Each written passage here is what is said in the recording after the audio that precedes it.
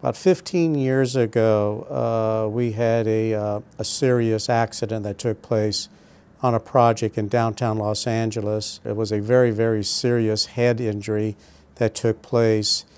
And not knowing uh, who to go to or to turn to in some form of representation for our members. So when our attorney referred us to Tom, or Mr. Beck, uh, he in essence stepped up and and I must say, uh, I believe, if I'm not mistaken, it was about a three-year case. And from the beginning to end, uh, Tom was just a, a, peach of a man. Uh, he, he, in essence, uh, shared all information, not only with our member and his family, but also with us here in our local union. Pretty much kind of kept us in the loop. We're blue-collar workers. Uh, a sheet metal worker is, is a smart worker because we deal with numbers every day.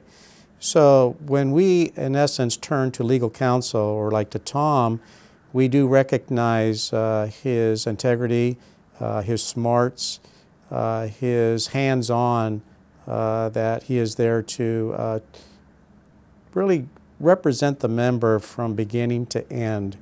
And I must say is that I've talked to several of our members. I've even seen Tom in court several times.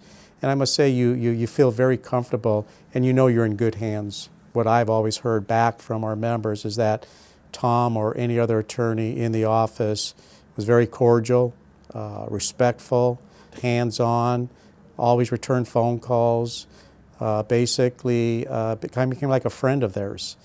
And uh, with Tom's uh, not only smarts, but his heart. Because after the case ended, however it ended, he in essence always still continued some kind of a relationship you know, like a, a, friendly phone call down the road. Hi, John Doe, how's it going? And vice versa. And, and we find that very, very uh, rewarding. For everybody that I have met in the firm, uh, other associates of Tom, uh, secretaries in the office, uh, class, class, without a, top, without a doubt. You walk in their office and everybody's so cordial and respectful. I think more in that is that they make you feel like you're part of them. And there's no coldness when you walk in there. I, I feel a lot of warmth. And I know for a fact is that when I refer Tom, I, I and also can say that anybody that goes there always come back and say, thank you, Rocky. Really, truly appreciate it because he does live up to what everything that you said. Now, maybe not every case or referral that we give to Tom ends up on Tom's desk, but I have no problem wherever Tom refers it out because uh, Tom really knows what, what our needs are, and, and we also uh, understand when we send a member there that we know he's in good hands.